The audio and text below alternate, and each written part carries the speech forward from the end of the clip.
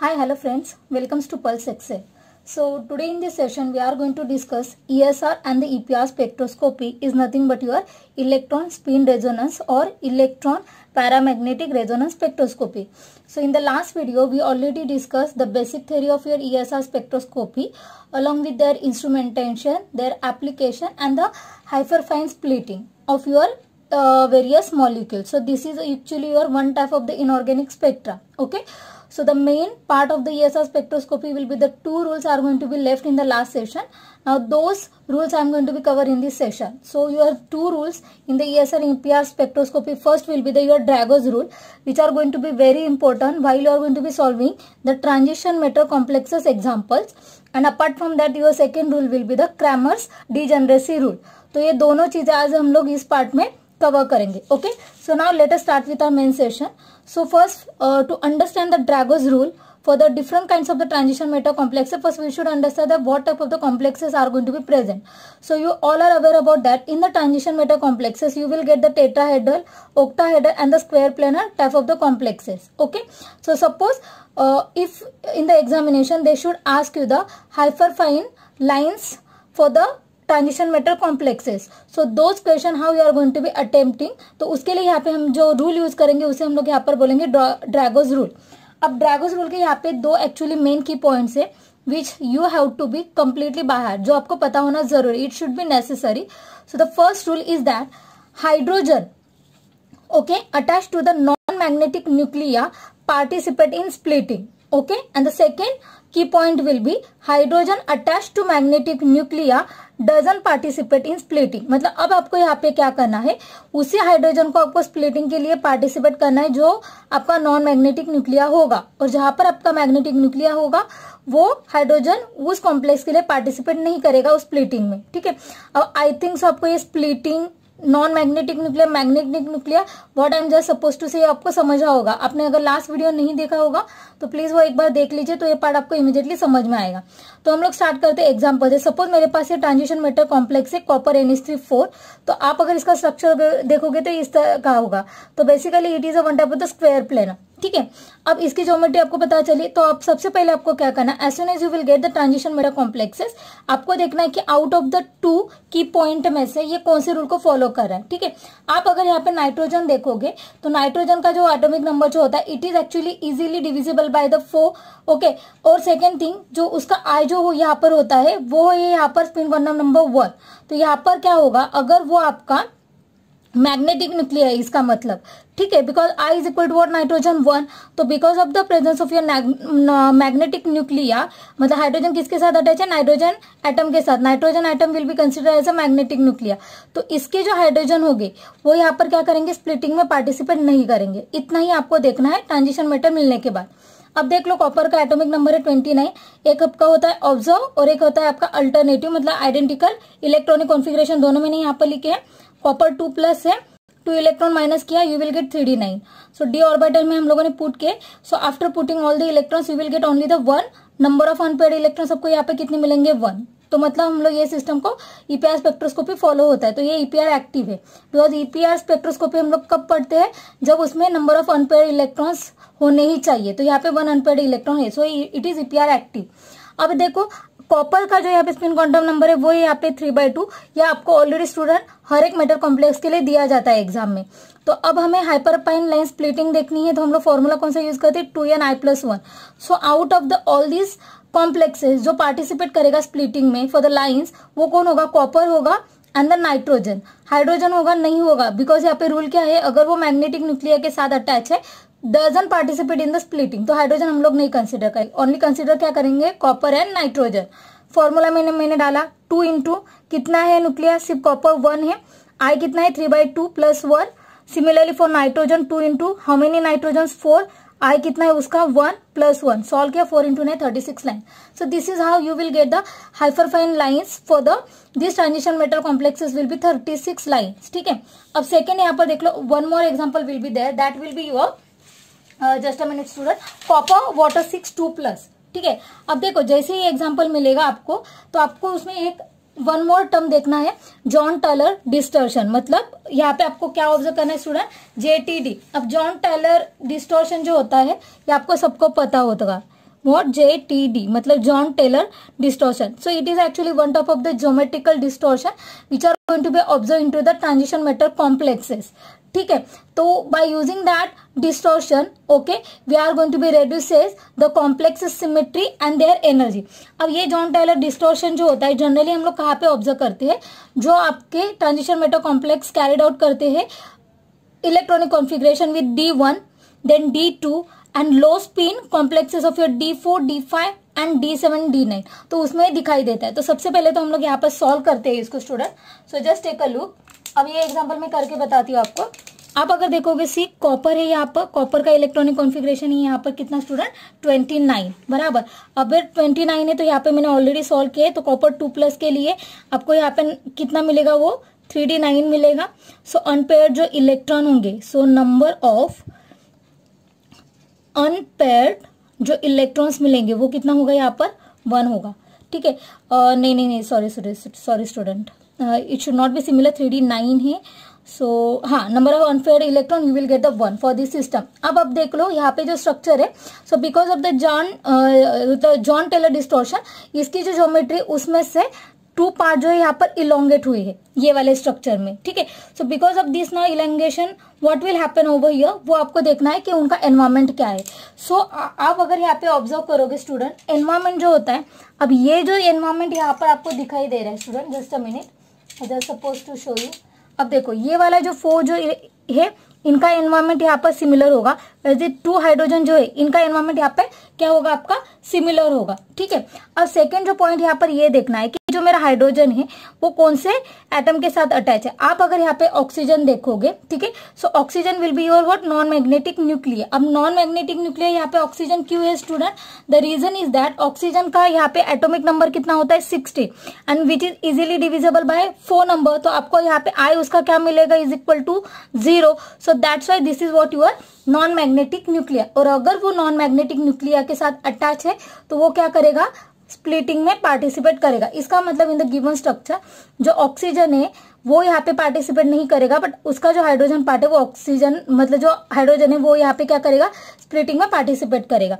तो बेसिकली यहाँ पे पार्टिसिपेट कौन कर रहा है स्प्लिटिंग में? एक तो कॉपर होगा। ऑक्सीजन ही क्या है आपका? Non magnetic nuclear which is not participate then only hydrogen are going to be participate ठीक है? अब आपको कैलकुलेशन क्या करना है? हाइफर फाइन स्प्लिटिंग मतलब कितने लाइन्स मिलेंगे? तो फॉर्मूला है two N I plus one ठीक है? इसके लिए भी हम लोग सेम यही लेंगे two N I plus one अब देखो टू इंटू कॉपर कितना है? वन आई की वैल्यू यहाँ पर कितनी होती है? थ्री बाई टू ही है इसके लिए भी. So that you should keep in mind plus one अब सिमिलरली टू इंटू अब हाइड्रोजन देख लो यहाँ पर. अब हाइड्रोजन आप अगर देखोगे there are total two atmosphere है. तो हम लोग इसको पहले कंसिडर करते हैं एच ए और एच बी अब एच ए वाला कौन सा आप लोग ये एरिया समझ लो. ये आपका एक एनवायरमेंट है और ये वाला अलग है. अब एच ए में टोटल कितने हाइड्रोजन है? One two three four five six seven eight okay into कितना होता है? आई हाइड्रोजन के लिए हाफ़ होता है प्लस वन अब सेकेंड जो एटमोस्फियर हाइड्रोजन वाला, ये तो उसमें क्या है? Again two N I plus one formula two into अब इसमें कितने हैं? फोर हाइड्रोजन है. इंटू हाफ़ प्लस वन ठीक है? लिखा? अब two two get cancel three one जा three plus one four into two two get cancel eight plus one nine अब यहाँ पे देखो two two get cancel four into one four plus five, ठीक है? अब इसको अगर मैंने पूरा सॉल्व किया student what things you will get so देख लो this is nine fifth forty five into four so you will get total multiplication यहाँ पे आपको मिलेगा स्टूडेंट वन एट्टी लाइन्स ठीक है? So this is how you should solve all the spectra की यहाँ पे क्या क्या चीज़ें हो रही। I hope so now you should understand कि यहाँ पर by using the Drago's rule आपको उसमें से स्प्लिटिंग के लिए कौन से एलिमेंट्स कंपोनेंट्स पार्टिसिपेट करे वो पहले चेक करना है. Then by using this formula you can calculate the how many number of EPR lines are going to be participate in splitting you can easily calculate ठीक है? अब थर्ड वाला एक वन मोर एग्जांपल ले अब ये तो आपके लीनियर मॉलिक्यूल अब सपोज़ आपके पास अगर नॉन लीनियर मॉलिक्यूल है तो उसको आप कैसे सॉल्व करोगे? तो सबसे पहले जो आपको कॉम्प्लेक्स दिया जाएगा, उसका स्ट्रक्चर आप ड्रॉ कर लो टिटानियम है अब यहाँ पे देख लो वाटर आपको फोर दिया हुआ है so I am just going to be drawing the first water part ठीक है? Actually generally O H two लिखना होता है स्टूडेंट तो वो अब मैंने गलती से लिख दिया है तो आप करेक्ट कर लेना वो। अमोनिया दिया हुआ है कॉम्प्लेक्स का एटॉमिक नंबर दिया है टू प्लस अब पहले, सबसे तो पहले टिटानियम आपको कितना होता है स्टूडेंट ट्वेंटी टू तो इलेक्ट्रॉनिक कॉन्फ़िगरेशन क्या आएगा? Three D two four S two titanium दिया है टू प्लस तो यहाँ पे क्या होगा आपका? थ्री डी टू तो आप देख लीजिए one two three four five one two. So यहाँ पे टोटल जो होगा आपका नंबर ऑफ़ अनपेड इलेक्ट्रॉन्स आपको यहाँ पे स्टूडेंट कितने मिल रहे हैं? टू अब आपको ये पता चला, ठीक है? उसके बाद आपको क्या करना है कि इसमें कौन पार्टिसिपेट करेगा? अभी तो आपको पता चला ऑक्सीजन है तो ऑक्सीजन इसमें पार्टिसिपेट नहीं करता है because of their what which nature student because of their non magnetic nuclear तो इसमें कौन पार्टिसिपेट करेगा? Only titanium and then hydrogen, ठीक है? अब देख लो सेकेंड जो हाइड्रोजन है वो अटैच है यहाँ पर किसके साथ? नाइट्रोजन के साथ, बराबर? तो यहाँ पे क्या होगा? नाइट्रोजन भी पार्टिसिपेट करेगा, ठीक है? और हाइड्रोजन तो अब ये तीनों यहाँ पे क्या करेंगे? इसमें पार्टिसिपेट करेंगे। बिकॉज़ यहाँ पे ये दो लिगेंड्स अलग है और ये तो ये एक्चुअली आपका ट्रांस वाला स्ट्रक्चर है यहाँ पे याद रख लो, ठीक है?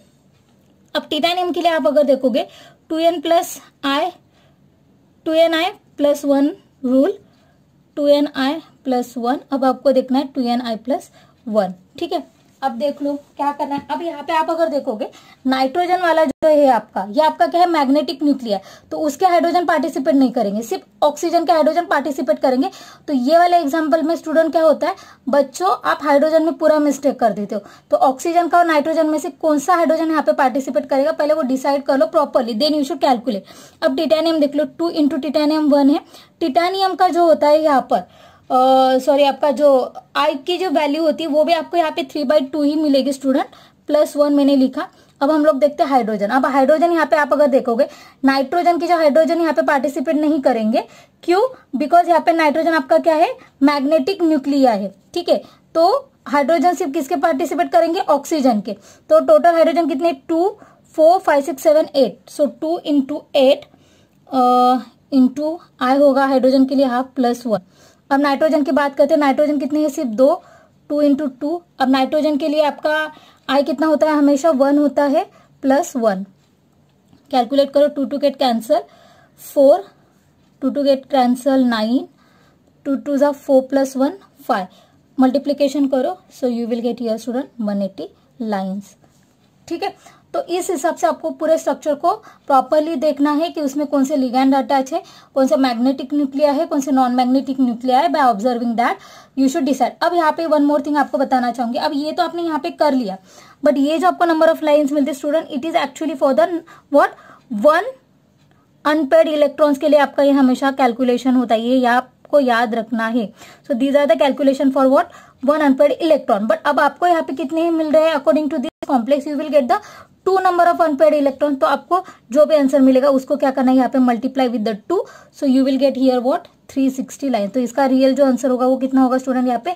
360 लाइन्स ओके तो I hope so in all the example you should understand what is the Drago's rule आपको अगर ये सारे एग्ज़ाम्पल समझ में आए तो हमेशा की तरह this is the examples like your homework जो मैं हमेशा आपको देती हूँ तो ये दो आपको क्वेश्चन सॉल्व करने and comment me that how many hyperfine lines you will get for this transition metal complexes तो क्रोमियम के मैंने आई वैल्यू दी है टिटानियम के लिए भी आई वैल्यू आपको दिया हुआ है. So first draw the complex structure देखो उसमें से कौन से कंपोनेंट स्प्लिटिंग के लिए पार्टिसिपेट करेंगे then follow the two N I plus one rule for the hyperfine lines then you should final the calculation ठीक है? ना after understanding the your what Drago's rule in the S spectroscopy अब second जो most important जो आपका rule यहाँ पर है स्टूडेंट वो है यहाँ पर zero field splitting and the Kramers degeneracy अब ये जो दोनों जो रूल है student is actually very similar ठीक है, अब ये दोनों रूल हम लोग कब यूज़ करते हैं वो याद रखो। ये ऐसा स्पेक्ट्रोस्कोपी मैंने अभी तक जितना भी आपको पढ़ा it is talking about the only one pair electron but अगर एक से ज़्यादा आपके सिस्टम में इलेक्ट्रॉन है so it is very difficult to study such type of the complexes ठीक है। पर्टिकुलरली और ट्रांजिशन स्टेट का जो सेकेंड एंड थर्ड है, वो उसके लिए तो और भी डिफ़िकल्ट हो जाता है। बट अब आपको क्या करना है? If there will be the in the your system more than one unpaid electron अगर प्रेजेंट है ठीक है? तो उसके लिए जो हम लोग रूल फॉलो करते हैं, वो होता है आपका zero field splitting and the Kramers degeneracy अब इसमें सिर्फ़ इतना ही फ़र्क है, अगर आपके एक से ज़्यादा अगर इलेक्ट्रॉन है और वो इवन इलेक्ट्रॉन है, ठीक है? तो उस स्प्लिटिंग को हम लोग यहाँ पर बोलेंगे ज़ीरो फ़ील्ड स्प्लिटिंग और अगर एक से ज़्यादा जो इलेक्ट्रॉन है, वो आपके अगर और इलेक्ट्रॉन से तो वहाँ पर जो रूल फॉलो होगा, उसे हम लोग यहाँ पर बोलेंगे क्रैमर्स डीजनरेसी तो ये चीज़ें आपको बहुत याद रखना है। एक तो इवन इलेक्ट्रॉन ठीक है? और सेकेंड आपके ऑड इलेक्ट्रॉन जहाँ पर भी ऑड इलेक्ट्रॉन होगा, वहाँ पे होगा आपका क्रैमर्स डीजनरेसी जहाँ पे इवन इलेक्ट्रॉन होगा, वहाँ पर होगा आपका zero field splitting I hope so now you should understand अब यहाँ पर देख लो स्टेटमेंट क्या है। ज़ीरो फ़ील्ड स्प्लिटिंग के लिए जो स्टेटमेंट होती है, वो ये है the lifting of the degeneracy of the spin state ठीक है? In the absence of an applied magnetic field due to the electron electrostatic interaction between the electron electron अब मान लीजिए यहाँ पर आपको मैंने क्या बोला था? इवन इलेक्ट्रॉन है। Suppose I have the two electrons over here ठीक है? तो ये वाला एक इलेक्ट्रॉन है यहाँ पर प्लस दूसरा वाला इलेक्ट्रॉन है। अब यहाँ पे क्या करेंगे हम लोग? Absence of applied magnetic field मतलब मैंने सपोज़ यहाँ पे कौन सा भी मतलब जो आपके अप्लाइड जो मैग्नेटिक फ़ील्ड है, वो यहाँ पर है ही नहीं। It is going to be completely absent है। मतलब ये क्या है आपका? B naught is equal to zero है। ठीक है, ये नॉट इक्वल टू नहीं, ये वाला कंडीशन यहाँ पर अप्लाई है। तो क्या होगा, जैसे मैंने बोला था every electron has their own spin उसका खुद का एक मैग्नेटिक मोमेंट होता है। तो अब ये इलेक्ट्रॉन में उनका इलेक्ट्रोस्टैटिक इंटरेक्शन स्टार्ट होगा। And because of that interaction they generate the applied magnetic field तो वो खुद यहाँ पे क्या करेगा, वहाँ पे अप्लाइड मैग्नेटिक फ़ील्ड को वो क्या करेगा, वहाँ पे खुद ही जनरेट करेगा। तो टू इलेक्ट्रॉन्स के स्पिन कितने होते हैं? Half plus half so you will get the here value one ठीक है? अब आपको इसको स्पिन को क्या करना है? इसको आपको चेक करना है प्लस एस से लेकर के माइनस स्पिन स्टेट तक। तो इसमें आपको क्या करना है? उस फिगर में से सिर्फ़ माइनस वन वन करते जाना है। तो आपका यहाँ पे आंसर क्या था? प्लस वन माइनस किया ज़ीरो देन माइनस वन तो ये आपको यहाँ पे क्या मिलेंगे? थ्री स्पिन स्टेट आपको यहाँ पर ये मिल जाएँगे। अब आपको डायग्राम कैसे स्पिन को करना है? तो यहाँ पे एक याद रख लो, जितनी ही आपके अनपढ़ इलेक्ट्रॉन होते, उतने आपको स्टेट लेने तो यहाँ पे थ्री स्पिन स्टेट है। So first I am going to be draw one two three ये क्या आपका यहाँ पे प्लस वन ये ज़ीरो ये माइनस वन ठीक है? अब ये एनर्जी स्टेट में क्या होगा? इनका स्प्लिटिंग होगा। तो उसमें से क्या होगा? अब आपको क्या देखना है? जिसका मैग्नीट्यूड सेम होगा out of the all the spin state वही से भी यहाँ पे क्या होंगे? स्प्लिट हो गए इनटू द अपर लेवल तो ये देखो, ये प्लस वन है माइनस वन है। दोनों का मॉड्यूल जो है मैग्नीट्यूड वो सेम है। तो ये यहाँ पे ऐसे डिजनरेट होगा। और ज़ीरो वाला जो है ऐसे यहाँ पर यहाँ पर ही रहेगा। तो इसे एक्चुअली हम लोग बोलते हैं ज़ीरो फ़ील्ड स्प्लिटिंग तो ये आपको ज़ीरो ये आपका plus one and the minus one और यहाँ पे क्या है आपका? मैग्नेटिक फ़ील्ड कंप्लीटली है? Zero so because of the electron की वजह से, उनके म्यूचुअल इलेक्ट्रोस्टैटिक इंटरेक्शन की वजह से, यहाँ पे अप्लाइड मैग्नेटिक फ़ील्ड जनरेट होता है and they are going to be splitting ठीक है? तो ये है उनका lifting of the degeneracy of the spin state तो ये यहाँ पे याद रखना आपको बहुत ज़रूरी है क्या? Lifting of the degeneracy of the spin state in the absence of applied magnetic field वो खुद ही वहाँ पे जनरेट करते हैं you will get this line तो आप अगर यहाँ पर देखोगे तो यहाँ पे मुझे क्या मिल रहा है? वन पेयर मिल रहा है। तो इस पेयर को हम लोग यहाँ पे क्या बोलते हैं? क्रैमर्स पेयर और क्रैमर्स डबलेट ठीक है? तो ये आपका हुआ सिर्फ़ वन पेयर आपको यहाँ पे मिल रहा है क्रैमर्स का। ठीक है? अब सेम यहाँ पर मैं दिखाऊँगी but for the your odd electron ठीक है? अब सपोज़ यहाँ पे मेरे पास क्या है? और मतलब यहाँ पे मैंने सपोज़ कंसिडर किए, मेरे पास अब यहाँ पे क्या है स्टूडेंट थ्री अनपेड इलेक्ट्रॉन से ठीक है? अब थ्री अनपेड इलेक्ट्रॉन्स का यहाँ पर मतलब क्या होगा कि मैंने क्या किए? Three half plus half plus half को ऐड किया। So I am getting over your what student three by two ठीक है? अब थ्री बाई टू का यहाँ पे माइनस यस से लेकर के ओके प्लस एस से लेकर के माइनस एस को अगर मैंने सब में से माइनस वन किया तो मुझे यहाँ पे स्टेट क्या मिलेगा? पूरा देख लो तो ये आपको मिलेगा यहाँ पे plus three by two then you will get plus half minus one by two then minus three by two सिर्फ़ आपको क्या करना है, इसमें से माइनस वन वन वैल्यू करते जाना है तो आपको ये पूरा रेंज मिलेगा। तो ये आपके पास कितना मिला? फोर वैल्यूज़ मिले। अब आपको इसकी स्पिन स्टेट की डिजेंडेसी देखनी है। तो यहाँ पे कितने टोटल फोर से स्टेट तो फोर स्टेट को लाइन में डालो। One two three four so plus three by two plus one by two minus one by two minus three by two ठीक है? अब ये क्या होगा? सबसे पहले जो है आपका थ्री बाई टू वो यहाँ पे क्या होगा? एनर्जी स्टेट में सबसे ऊपर जाएगा। दोनों का मैग्नीट्यूड सेम है। तो एक होगा plus three by two minus three by two second आपका जाएगा ये मैग्नीट्यूड जो है दो plus one by two minus one by two तो ये हुआ इसका। तो इसमें आप देखो, ये वाला एक पेयर है, ये वाला एक पेयर सो टोटल आपको यहाँ पे क्या मिलेंगे? टू पेयर मिले। किसके? क्रैमर्स तो इसको हम लोग बोलते हैं क्रैमर्स पेयर या फिर हम लोग इसको दूसरा नाम क्या बोलते हैं इसको? हम लोग क्रैमर्स डबलेट ठीक है? So this is how the splitting will be taking place taking place for what your odd electron and for your what even electron even electron होगा तो उसे हम लोग बोलेंगे ज़ीरो फ़ील्ड स्प्लिटिंग और ऑड इलेक्ट्रॉन के लिए ये आपका इस तरह से होगा उसका डिजेनरेसी नेचर ठीक है? I hope so you should now understand कि पेयर इलेक्ट्रॉन और अनपेयर इलेक्ट्रॉन में क्या डिफरेंस है? ठीक है, अब मैं आपको एक एग्ज़ाम्पल थ्रू बताती हूँ, पहले तो। अब इसमें और एक यहाँ पर स्टूडेंट आपको क्वेश्चन मिलता है। देख लो ग्रामर डिजेनरेसी में आपको याद रखना है। ये बहुत एक्चुअली ज़रूरी पॉइंट है। आप अगर कोई कॉम्पिटेटिव एग्ज़ाम के लिए प्रिपरेशन कर रहे हो दैट ग्रामर जो डिजेनरेसी है दैट कैन बी रिमूव कब होगा?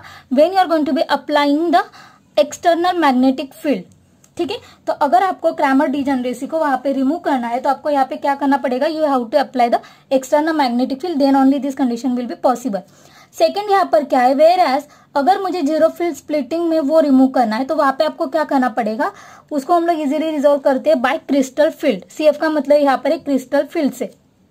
तो उसके बाद जो नेक्स्ट पॉइंट है, ये दो फॉर्मूला जो है again one more hyperfine lines तो आपको पता है two N I plus one अब फाइन लाइन्स जो होता है, इसके ऊपर आपको नेट में बहुत सारे क्वेश्चन आते हैं तो उसका एक्चुअली फॉर्मूला होता है, एक तो टू एस टू एस अगर आपको नहीं समझ में आता, बच्चे इसमें बहुत सारा मिस्टेक कर देते हैं तो आप सिंपल क्या याद रख लिए? The number of unpaid electrons तो आपको जो भी गिवन कॉम्प्लेक्स होगा, उसमें जितने भी आपके नंबर ऑफ़ अनपेड इलेक्ट्रॉन्स होंगे, उतनी ही आपके क्या होते हैं नंबर ऑफ़ फाइन लाइन्स होते हैं, ठीक है? अब देखो, ये वाला जो क्वेश्चन था ना नेट जून 2012 में पूछा था। देखो क्वेश्चन इस तरीके से आते हैं, आपको ईपीआर स्पेक्ट्रोस्कोपी से तो उन्होंने पूछा था the total number hyperfine EPR lines अब यहाँ पे आपको दोनों पूछे तो अब तक तो मैंने आपको ये पढ़ा है कि हाइफरफाइन लाइंस कैसे निकालते फाइन भी पूछा है। तो डोंट वरी तो ये आपको फॉर्मूला यूज़ करना है। Expected for octahedral high spin manganese two complexes are respectively I की वैल्यू दी है मैग्नीस के लिए। तो सबसे पहले तो आपको यहाँ पे करना क्या होता है? सोल्यूशन देखो, कुछ भी नहीं इजीली देखते देखते सॉल्व कर सकते हो। सबसे पहले तो यहाँ पे फिर क्या लिखो? मैग्नीस दिया है। मैग्नीस का एटॉमिक नंबर लिखना है।